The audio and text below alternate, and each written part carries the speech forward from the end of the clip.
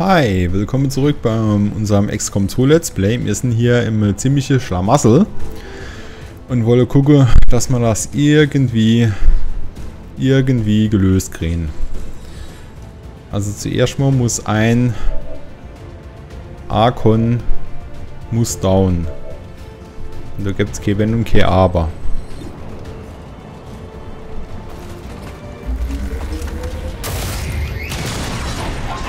Okay, das ist schon mal okay.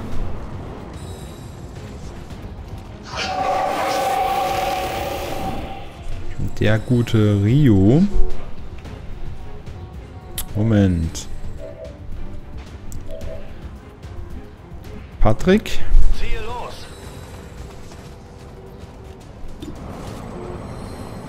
86, okay. 8 Schade. Jupp. Okay, sehr schön. Der hat nur noch 2. Will heißen...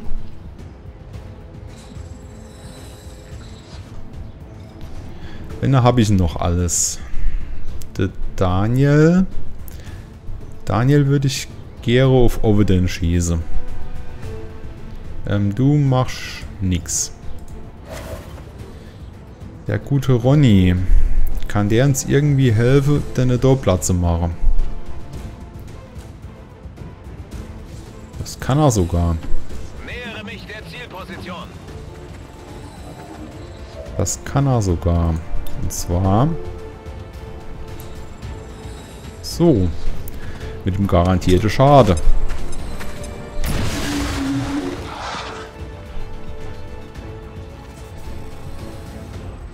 Ähm, Mitchell hat eventuell noch eine Blendgranate, die wir hierin feuern können. Ich erstmal gucke, was kann der Daniel hier ausrichten.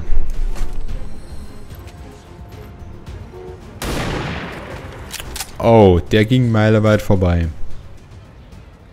Ziel steht noch. Ja, das steht noch leider.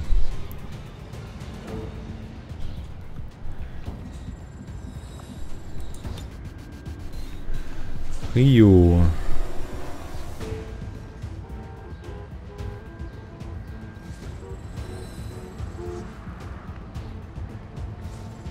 Äh, nein. Hier ist doch markiert. Setze Kletterhaken ein.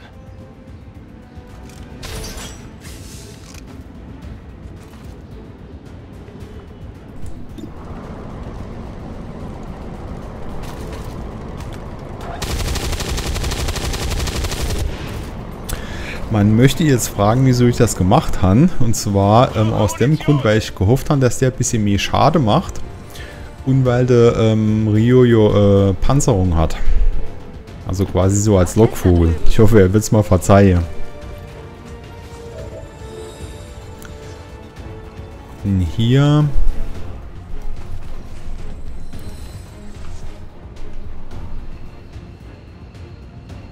Können wir hier alle beide? Das wäre super. Ich blende sie. Sehr schön. Ich spuck dir ins Auge und blende dich.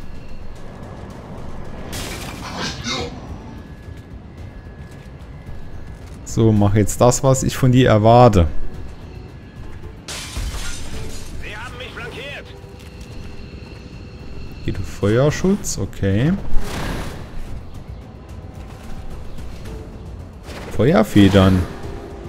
Wow. Also das hätte ich jetzt nicht erwartet, aber das ist äh, mit das Beste, was uns passieren konnte. Würde ich dir mal fast sagen.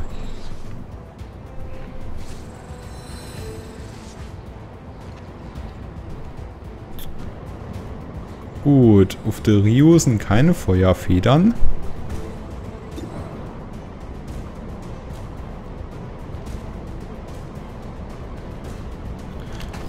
Treffer wäre richtig gut. Na, immerhin, immerhin. Zwei weniger. Keine Wirkung.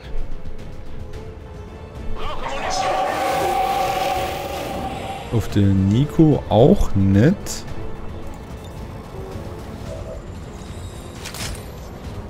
Oh ja. 80, okay. 74. Hopp, Nico. Yo! Wir sind die Besten. Super. Auch direkt beim Mitchell gedroppt. Ein bisschen wenig, ja. Bisschen geizig das Vieh. Okay, wir haben noch Feuerschutz. Ähm, Daniel. Haben noch sechs Runde. Dann lad Mono. Ich bin bereit. Ah, das war kostenlos. Sehr schön. Dann gehen wir auf Distanzschutz.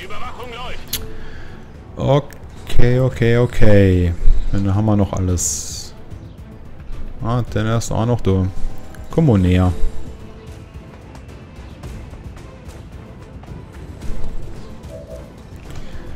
Der Ronny, das Mitchell und der Patrick. So, wo sind die Viecher?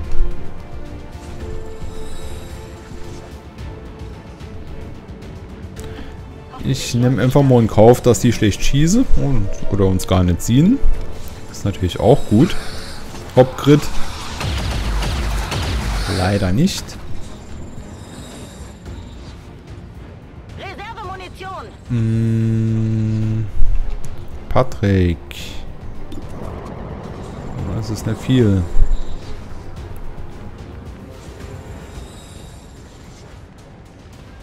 Aus.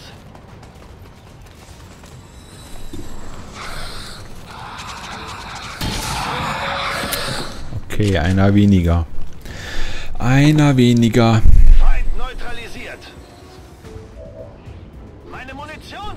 Okay, der gute Ronny muss jetzt irgendwo hin, wo er... Eigentlich möchte ich schon mal diese Richtung. Bin auf dem Weg.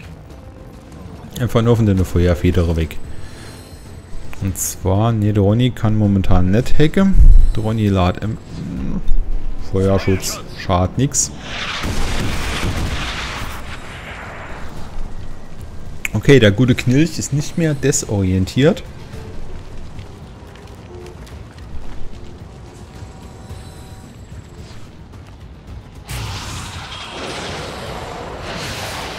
Hilfe! Verdammt! Ich brauche Hilfe! Dann hilft das Erwart. Oh, gut. Einwandfrei. Ja, Ronny. Ist hier warm hier. Der gute Ronny. Wer sieht denn hier noch nicht immer? Mitchell.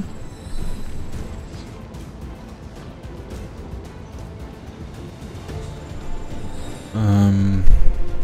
Oh ja, das das ist mir einfach zu dumm. Nico muss irgendwo hin, wo er es sieht. Kein Problem. Ich hoffe es doch irgendwo hier. Na, DSG Gefechtsprotokoll. Super. Aber Plasma-Granate. Läuft.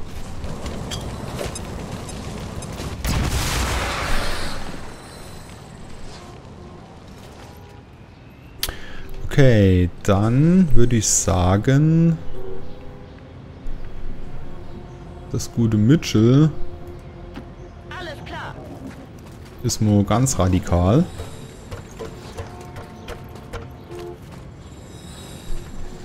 Da aber ist nicht. Das ist gut.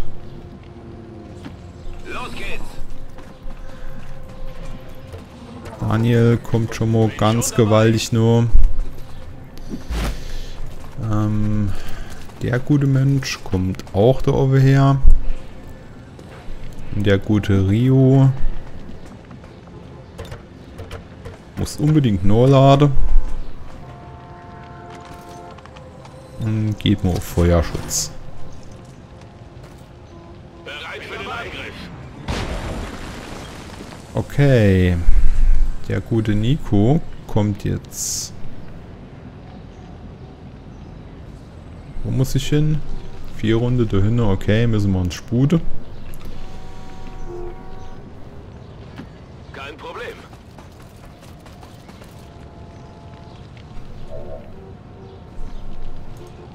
Verstanden. Rück ab.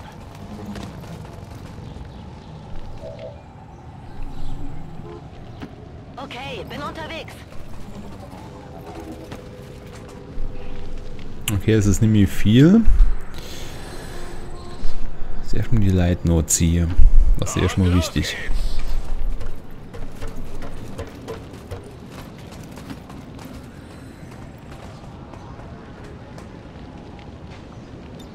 Köpfchen runter.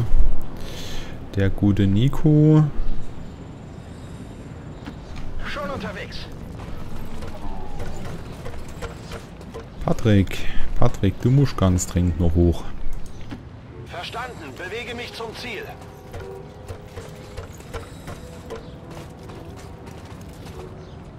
Und Patrick tut einfach Monolader. Dann mal los. Gebe Feuerschutz. Ähm, Ronny lad auch Mono. Nachgeladen. kann nie wissen. Und weiter geht's. Jetzt komme ich. Nico wird auch nachladen. Waffe geladen. Okay. 1-5, feindliche Abfangjäger nähern sich mit hoher Geschwindigkeit. Ihr Evakuierungsfenster schließt sich.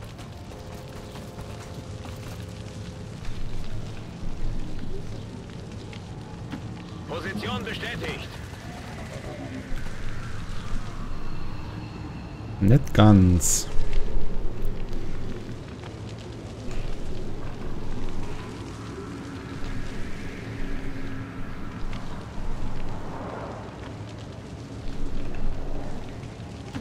Jawohl.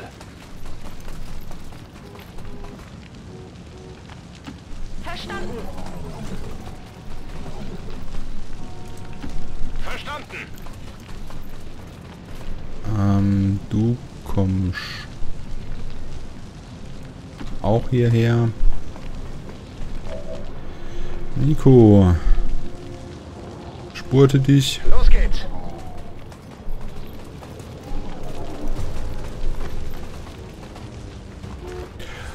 Oh.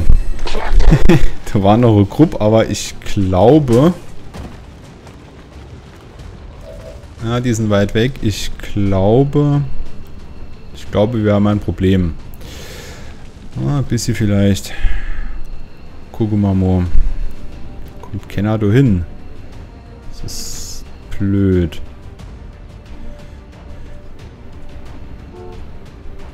Ach so, okay, stopp. Ähm, das war noch mein Zug. An den nächsten schon kommen wir aber hin.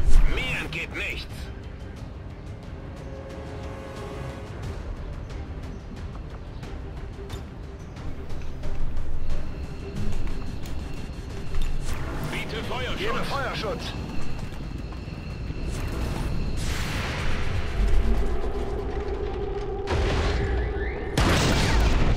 Wow. Der Nico schießt einfach mal durchs Dach und killt dann das Stunny. Das ist sau gut. Okay, ähm, Rio. Was ist denn das für eine blöde Abholzone?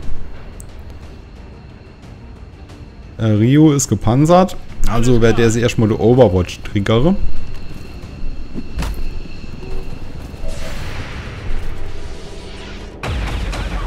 Na, er schießt sogar vorbei.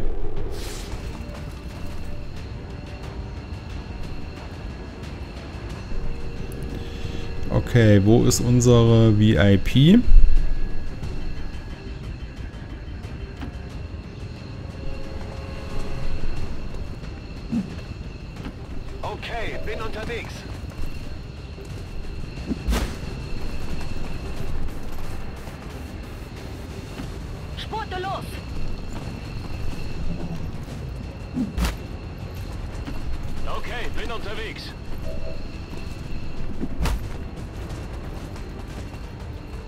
Geht klar. Und noch der Nachzügler. Bin gleich da. Ah, den Offizier lassen wir als erstmal Offizier sind. Denn wir gehen jetzt nach Hause. In Sicherheit und bereit zur Evakuierung. Wow, dass man uns aus dem Schlamassel mal rausziehen konnte. Das ist schon nicht schlecht.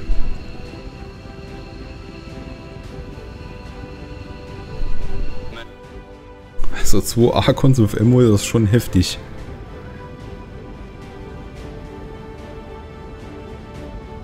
Ja, das gute Imitationsgerät. Gut, dass man das dabei hatte. Manchmal ist so ein bisschen defensiv auch nicht schlecht.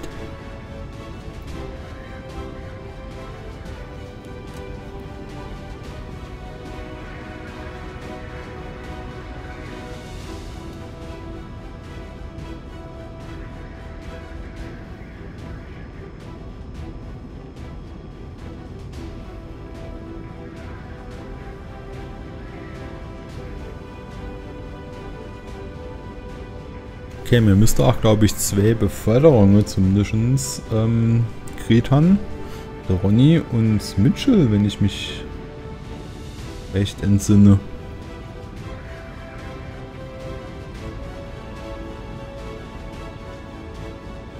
Das wäre nämlich sehr ideal. So, dort noch müssen wir unbedingt mal gucken.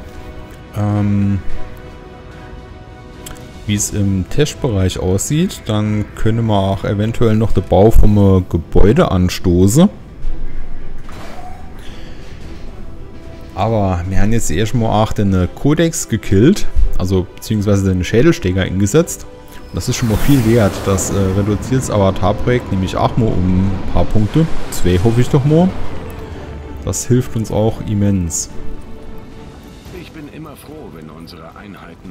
Verluste zurückkehren. Besser hätte es nicht laufen können. Ah, doch, der Rio. Na, nehmen wir auch. So. Schwere Geschütze. Natürlich. Mehr Granate ist immer gut. Und äh, gute Ronny, der kriegt auch, der wird auch ein Medic. Commander, bitte danken Sie Ihren Truppen für die schwierige Erlangung des Codex-Firms. Ja, kein Wir Problem. beginnen so bald wie möglich mit der Arbeit daran. Und 20 Informationen ist noch dabei rausgesprungen. Das ist sehr schön. Um eins nur reduziert. Super, Ingenieur. Testbereich. Wir mal. Äh, gut, mir baue gerade nichts. Das heißt, ähm, gönnen wir uns die Sprengkörper. Äh, Ich glaube, Bluescreen, da warte ich noch ein bisschen. Zu viel Robotereinheiten haben wir noch gar nicht. Feldmedizin wäre aber auch richtig gut. Der Rage-Anzug hätte auch was.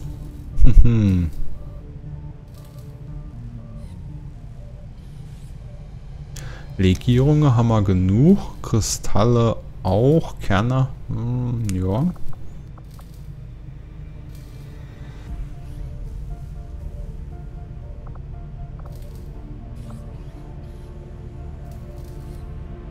Hm.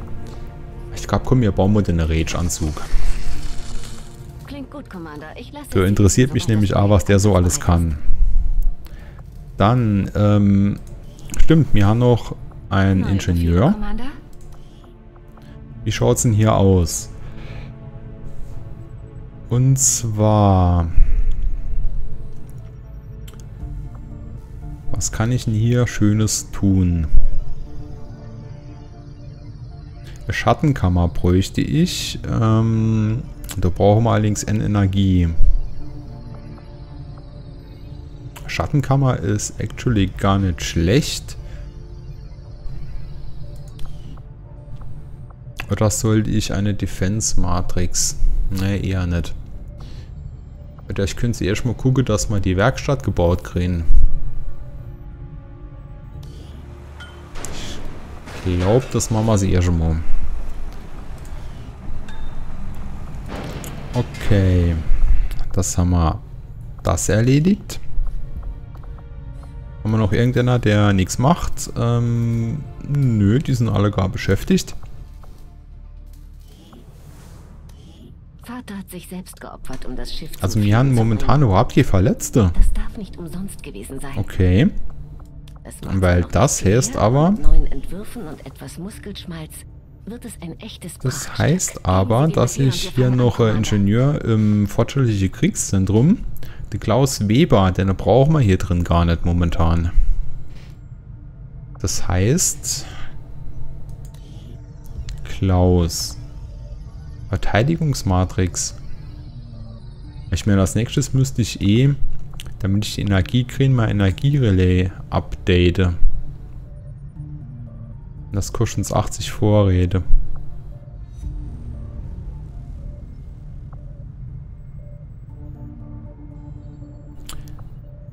Ne, da gibt es noch irgendwann die Elerium-Leitung.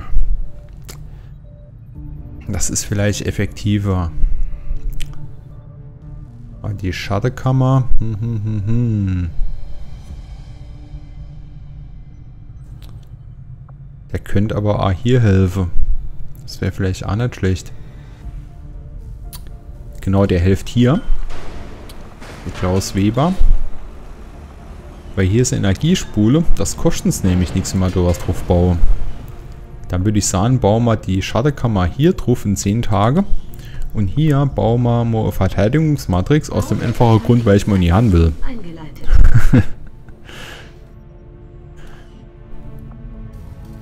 Okay, dann gucken wir mal kurz hier. Mir forsche Gauss-Waffe. Das ist soweit in Ordnung.